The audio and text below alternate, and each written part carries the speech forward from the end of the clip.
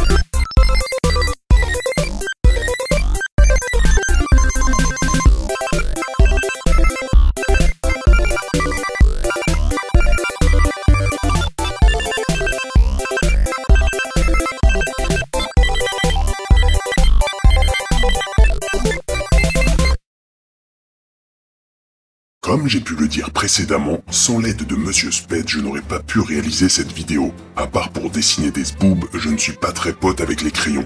Je vous recommande donc d'aller voir sa chaîne, il fait des vidéos axées sur Pokémon avec des challenges, des dessins et des combats en ligne.